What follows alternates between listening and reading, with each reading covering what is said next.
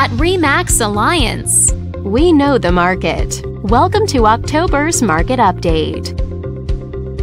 Let's take a look at residential real estate activity in your area during the month of September. The number of active listings was up 33% from one year earlier and down 20% from the previous month. Even so, buyers still enjoyed a greater selection of homes today than they did one year ago. As you can see, the median listing price for the month was just under $950,000. Compared to last year, the average number of days units spent on the market before being sold was up 56%. This higher number of days may signal a slowdown in the local inventory turnover rate.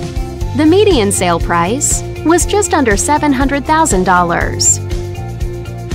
The number of units sold decreased 50% year over year and held steady month over month. Even though sales figures were down from a year ago, the recent local market conditions were basically unchanged.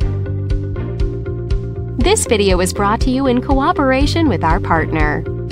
Thanks for watching. We hope you found this video helpful as you gather more information to make smart, informed real estate decisions. If you'd like more information or assistance, please click the button on the screen.